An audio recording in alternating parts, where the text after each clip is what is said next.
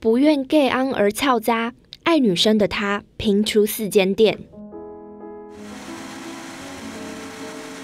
小安是台南四家银饰店的老板，他从夜市摆摊做起，十多年过去，旗下品牌除了走流行风的小安的店，还有着重首创和设计感的银链。小安卖纯银饰品，也习惯以最纯、最真的一面示人。大家就是女生男生一起出去玩，然后可能那时候很流行溜滑冰、溜溜冰。那我们去溜冰的男生女生会牵手，可是牵到手完全是没感觉。现在女生就会哇，怎么会是这样子一个一一回事这样？但他的性向刚开始却无法得到妈妈的认同。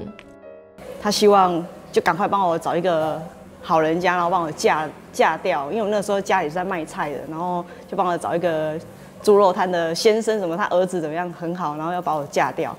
年轻叛逆加上不被认同。小安在国二那年开始跳家，最初住在朋友家，后来半工半读，自己租房过活达五六年之久。那那个时候我就是买草席铺在地板睡，然后把我带出来的衣服当做枕头睡，然后没有棉被，所以我是带盖着的是厚外套的。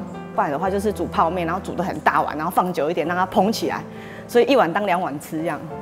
高职毕业后，小安先在夜市卖银饰。靠着和客人把闹的本事，生意做得有声有色。但刮风下雨的夜市生活实在辛苦，他转而迁到门市，没想到却因此踢到铁板。我以为夜市的客人会跟我去门市，后来才发现不是。会买夜市的人是不会买门市的，会买门市不会买夜市的。然而，懂得揽客之道的他，却有自己的法子。那个时候流流行养迷你猪，所以我那个时候就养迷你猪在店里，所以很多姐姐都是看到那个猪，很多客人看到那个猪就会进来。一路走来，小猪长成了大山猪，它也陆续开出其他门市，同时设计开发出符合台南地方特色的银狮、兰花系列等产品。文创手作课程更是吸引不少客人。